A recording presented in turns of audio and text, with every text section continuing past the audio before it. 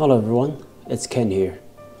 Today I want to show you how to create your own macro in the driver software for the SK61 mechanical keyboard.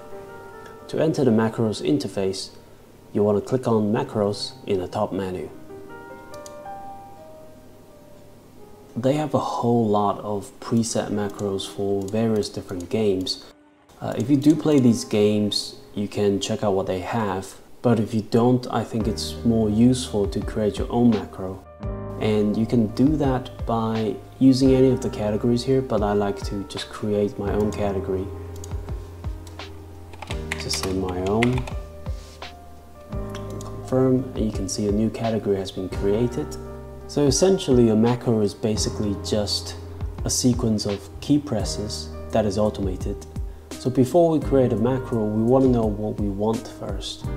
And depends on what you do, you might have various different macros that's very good for what you do. It saves a lot of time for you.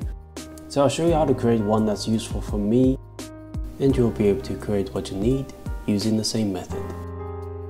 And what I want this macro to do is with a single key press, I want it to show my email signature. This one. So I want to create a macro that can type all of that while I only have to press one key. So now we know what we want. In order to create a macro, just click on this plus sign over here. And I'm gonna give it a name, just say signature.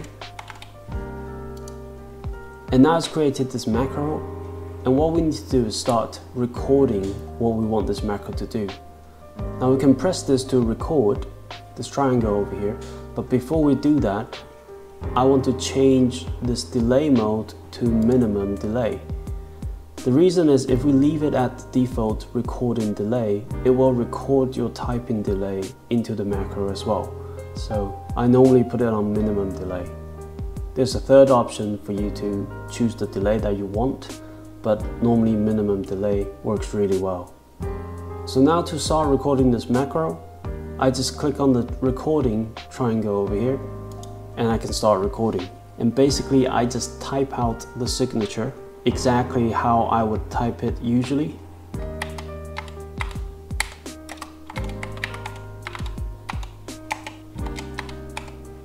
And once I'm done, I just click on the stop sign and then click on save.